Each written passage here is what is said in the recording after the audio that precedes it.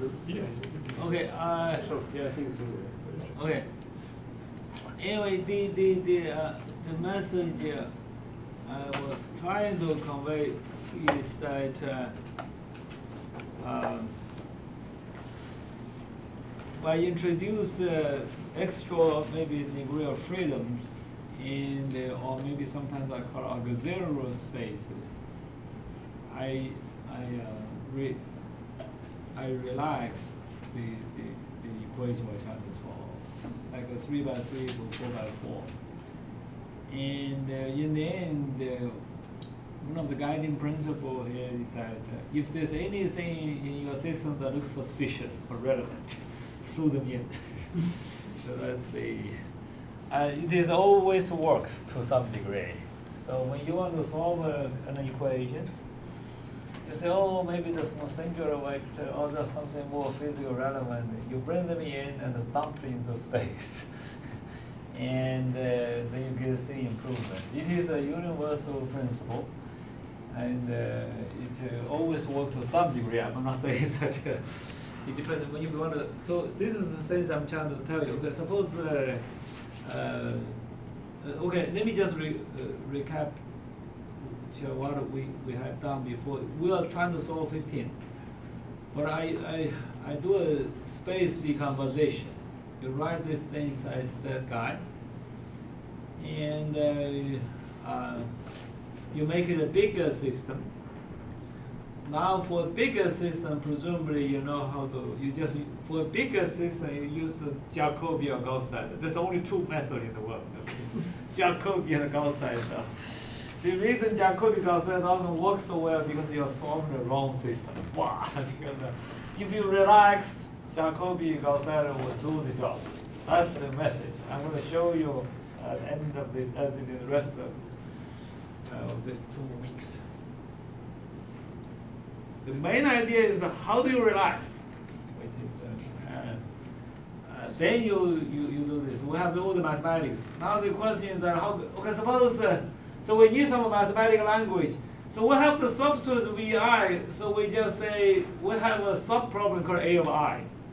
It's, it's a matrix on the on your what I call auxiliary space or subspaces. For example, in this 3 by 3, 4 by 4 is just one dimension, okay. It's just AI is diagonal. So then you have to solve this AI. It's the inverse, approximate inverse. I don't know if you uh, recognize that uh, in Jacobi Gauss-Seidel method, it doesn't always give you the best job if you solve that one exactly. Do you know if, why this Jacobi, this uh, Gauss-Seidel, the Gauss-Seidel, every time you, you solve the diagonal, invert the diagonal, right? And the, the, the SOR says that you should not just uh, invert. Actually, after the invert, you have to put a parameter there. So, so the, the, when you do the subspace solvers, it doesn't have to be exact. Okay, this is something important to know. And uh, so you can take the, if you, you know, it it's going to be useful if you, you know a little bit of functional analysis. But uh, Stanford, you have, a, you teach functional analysis. Okay, this is how many, you have eight courses or six courses? but when you do linear algebra, it is uh, helpful to know functional analysis. And uh, uh, the, the, the, the, the situation is like this. We are solving finite dimensional problem, right? We're solving linear algebra. But we're interested in dealing in bigger problems. The biggest one is infinity, okay? But you want to see the asymptotic behavior of a, of a problem of size n when n approaches infinity. Whenever solve an equation with infinity, we do, we do approximation first. But in order to know the limiting behavior, you have to know infinite dimensional space, which will be Banach space, Hilbert space. But I, I, so I think uh, numerical analysis, in my opinion, you have to study infinite dimensional space if you want to do large data. So they are uh, big data very well. uh, so, the, this will be the adjoint, and the pi with the pi i star, the uh, so you for pi i is uh, is from vi to v. The, the prime will go to prime to prime. But again, if you take the dual of the L2, everything will, will be identified. the vi prime will be equal to vi. Uh, if you are interested, actually, maybe I can schedule a different session to talk about prime. this, this dual is such a confusing thing in the literature. But anyway, uh, so then you look at the, the when the pi i in uh, in the multi-grid, for example, is usually like a prolongation. When you take a prime, it's called restriction. Okay, and uh, then you have this. Uh, uh, uh which AI is going to be symmetrical positive definite in the subspace, so you have the dual. So that's why pi is so it, the, the, one of the, the important identity, this is just, uh, you check this by, by definition. Your pi prime, pi prime, this is important one, let me just do it for you. So I didn't do anything, what happened? What is this?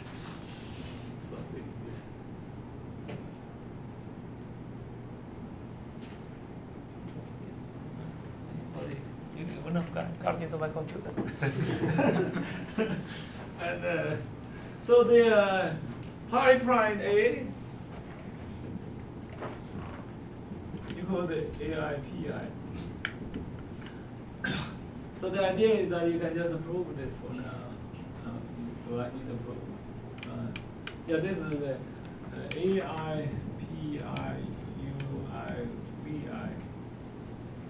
pi is from to where?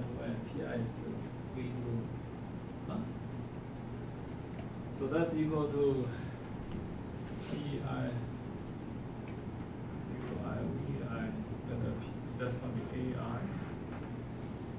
Uh, that's by definition equal to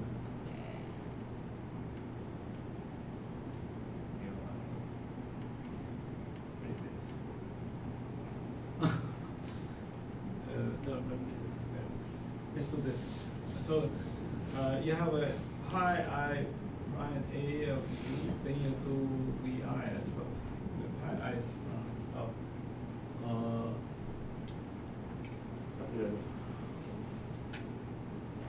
pi i from vi, this will be prime. v. So that's equal to, oh, that's a vi. Pi i.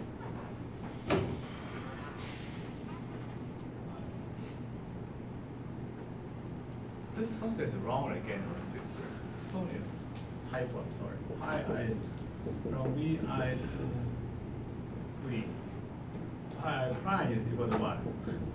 v prime, sorry. Equal to v i prime, okay? So then uh, this is equal to a of u i i. equal to U of I I V I of A. Then you're gonna go to uh that's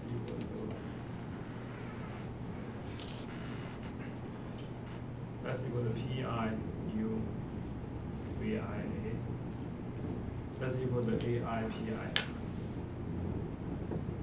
So, uh, and uh, you got the title. uh, so this one is true. So now, uh, I have this uh, expanded system. You know what I'm going to do? I'm going to do Jacobi outside okay? That's what I'm to do. But right here, I need to do a block Jacobi block outside because uh, I have this uh, subspace I treat them as a block. So when you do Gauss-Seidel method, you do write this as D plus L plus U, okay? All right? So this will be a lower triangular matrix, this is the upper triangular matrix.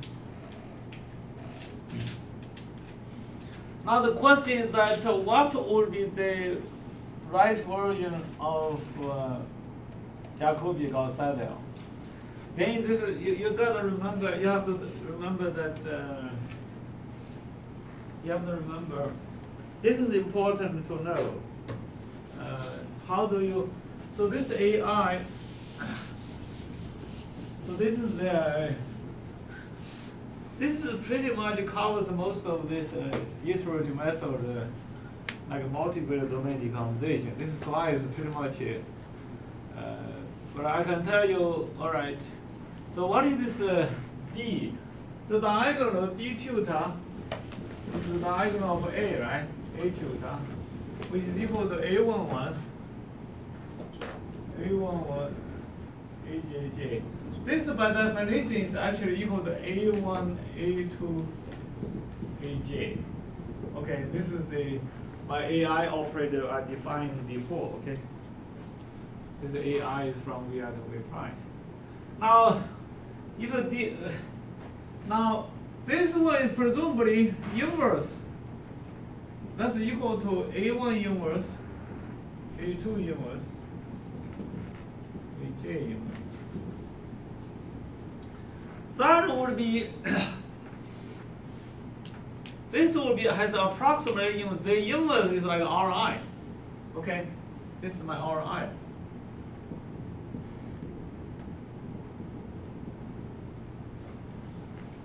This is my R2 Okay.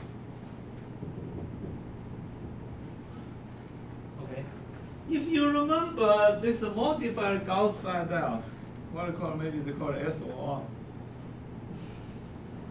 Recall. This is an omega D inverse. This kind of you can think of an omega inverse D inverse cross R. This is B. This is omega. Omega inverse times D. Sorry. Then inverse. Oh, this cross L. Sorry. This is Gauss-Seidel, the, the, the modified Gauss-Seidel.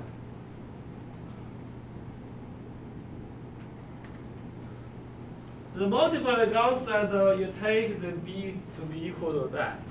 Here, so this D, if you look at this D, this D that means D tilde inverse would be approximately like R, wait a minute, this is,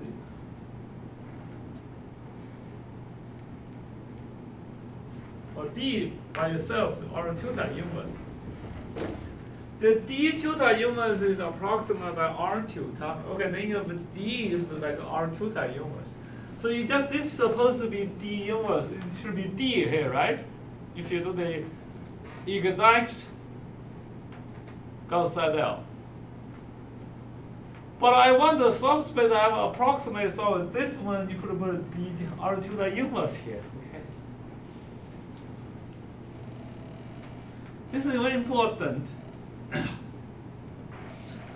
Okay, if you do really the Gauss-Seidel method, R2 that can be d theta in the exact one, okay? Otherwise, you can do the generical. You don't have to solve that one exactly. So that's pretty much the, the uh, so you, you, you do the, uh, I have this relaxed problem, the expanded problem. I do either Jacobi or Gauss-Seidel. It's not the exact one I say, I call it modified. I don't know in the literature, what, what, how you teach this, uh, Alex, uh, Eric? You do SOR, how do you call this? They call it SOR, yeah. Yeah, but SOR, they always, this O means uh, over. I don't know, the, the somehow, because of the, the nature of five-point stencil, they always do O, no U. successive over relaxation, that's what. This also should be successful under relaxation. There's a discrimination there. So, uh, and uh, so we call it relaxed Gauss-Seidel uh, maybe. Or I call it modified Gauss-Seidel. I don't know what's the word. But the thing, the idea is that when you do the diagonal inverse, you want to do some modifications here. Well, the way to do the relaxation thing is well, you can do the previous one, take an average. But that's not how I modify these things. When I modify this, you, you want to go to subspace solver, you introduce some parameter somehow to offer some uh, extra degree of freedom to make your solver behave better. But uh, I'm, I, I'm going to spend uh, you know a, few more seconds here to emphasize the transition. First of all, let's go. Even see if we can go back. Maybe that's too too too much for back. First of all, when you do a a Gauss-Seidel method, how do you do a Gauss-Seidel method in my abstract framework to a modified Gauss-Seidel or SOR is by modify the diagonal inverse. But this is how it's been taught in linear algebra book. Linear algebra book, you take an average, okay? You take the previous, you take the relaxed figure. But that cannot be generalized to subspaces. So the right notion of thinking about is that when you do this subspace solver like the diagonal, you relax there, you, you do some kind of approximate solvers there. Okay. You may wonder why I can I when, when I do things in the subspace on the diagonal, why I do not solve exactly? Because it's an approximation anyway. You solve an approximate problem exactly, it may not be a good idea you want to solve approximately in a, in a, in a way that helps original probability because you, so you don't not necessarily solve, you don't have to actually, you should not in this particular case to solve the approximate the, the, the, the thing on the subspace. Because when you when you when you call when you correct the residual on the subspace, it's only a certain component of your solution get recovered, uh, uh, corrected.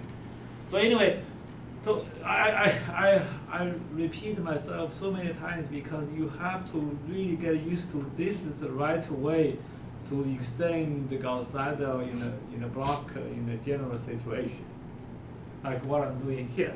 It's not like the linear algebra book says take the average. It's, well, that's how it was uh, derived originally. But so if you do this, another question that um, this is what the uh, uh, when you have this expanded system, I want to say that the symmetrized one should be symmetrical positive definite. You see, uh, so this R2 chart, let me tell you, if you do the uh, uh, Gauss-Seidel on Jacobi, here's the deal, okay?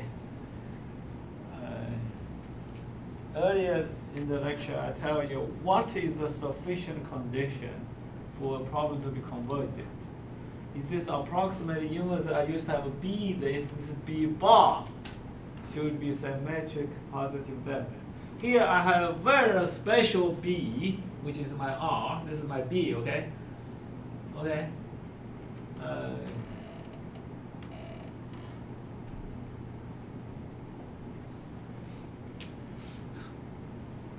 so the as long as this uh, one is going to be uh, the B bar is a symmetrical positive definite, but this one it turns out uh, will be reduced to this one here. This is like the diagonal. If you really have the diagonal, this is, if this R bar is diagonal inverse, this whole thing would be the diagonal. I don't know if it's diagonal inverse. But anyway, this would be the necessary condition. R bar, if this one is sufficient coding, I mean symmetrical positive definitely, then they, they my my then my my my uh, iterative method will converge. This will be the uh, uh,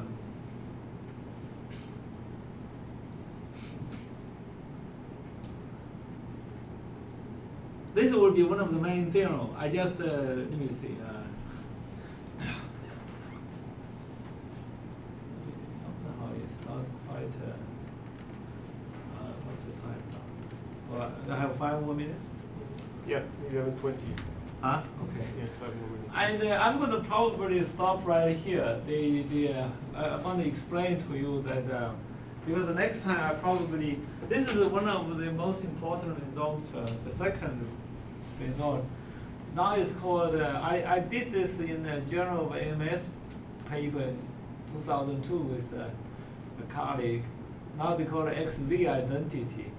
The way to go is that um, you basically it, it, it considered to be a mystery. Our there's lots of complaint from our paper. People could not understand our paper, and because the proof is so complicated. But after all these years, then we realize it's just Gauss-Seidel method. It's just a linear algebra. Okay, let me uh, uh, tell you the, the, the power of mathematics. And uh, I'm going to come back to that. One of the, the, the, the uh, I don't have any of these things I want to see here. Uh, oops. Uh, for example, uh, I need to uh, modify the slides a little bit. But uh, anyway, uh, in the end, I'm going to have this identity. This is the identity what I'm going to have to show to you. And uh, from this identity, but uh, what I will actually derive is going to be purely linear algebraic calculation. If you wish, I can do it in a functional infinite dimensional space. But uh, to get you motivated,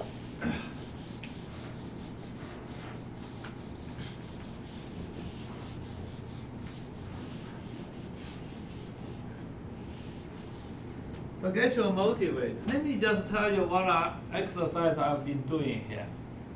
I take a, a generic equation AU equal to F, then I, I take it, I expand it, then I do some kind of Gauss-Seidel.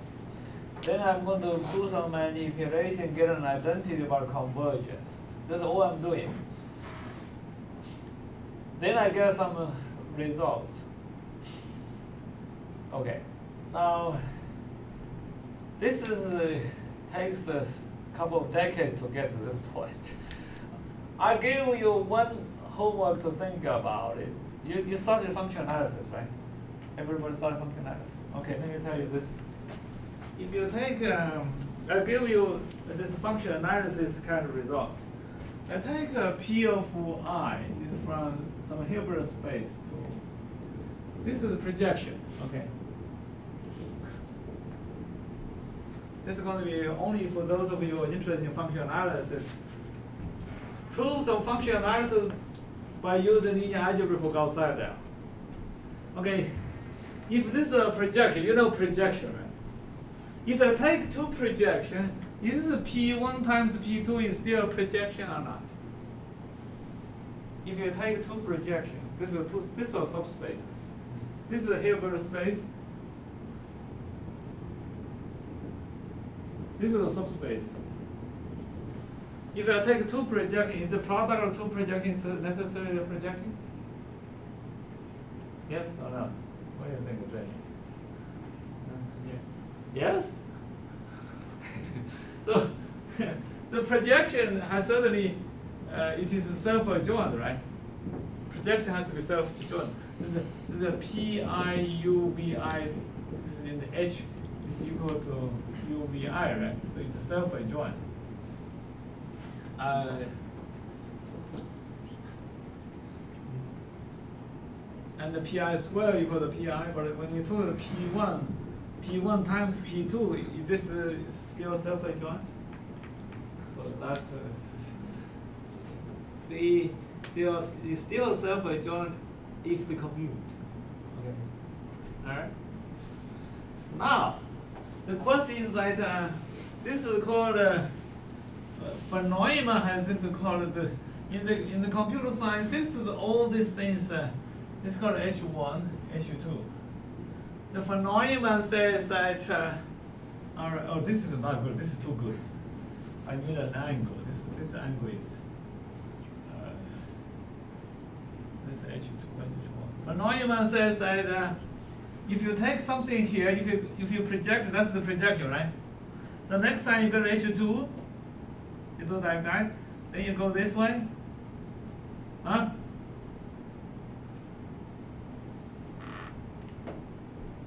You Eventually, this will be my H1 intersection H two. So if if uh, P one equal to P two P one, then P one P two it is a projection. Okay, it's equal to P H one intersecting H two, right? You, you, you, this is just a linear linear function analysis. In general, P1, P2, listen to Pj. If you take uh, m's power, that would convert to the projection of H1, H2.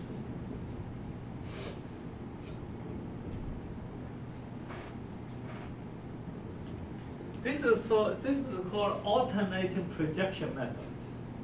If you go to the Google, you type this is a, a method is commonly in, in, in practice. And e- j equal to von Neumann, this is than von Neumann.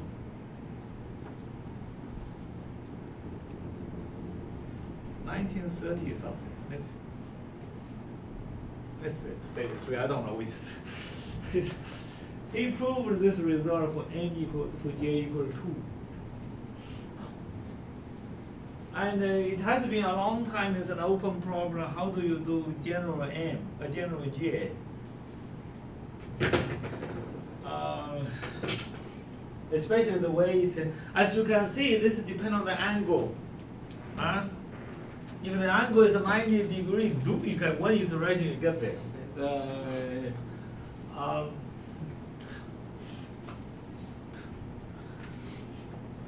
So this is a non-trivial result, but somehow we managed to say, if you understand my proof of Gauss-Seidel purely linear algebra, you prove this very easily.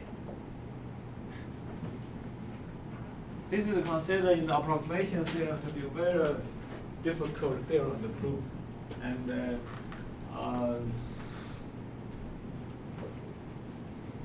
you know method of alternating projection. They call it MAP, like a map. And lots of papers on that. And if you're interested in functional analysis, again, this is the homework you can do. Okay. Uh, um, but this is going to count out my Gauss-Seidel method. Okay.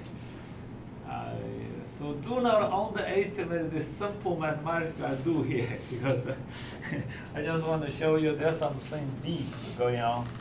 Uh, after all these years, I realized this is the right language to do iterative method. Uh, I'm going to just uh, probably stop here and uh, we can continue. So, uh, so I, I will print out the slides next time. Uh, uh, okay. All right, All right. Thanks. thank you.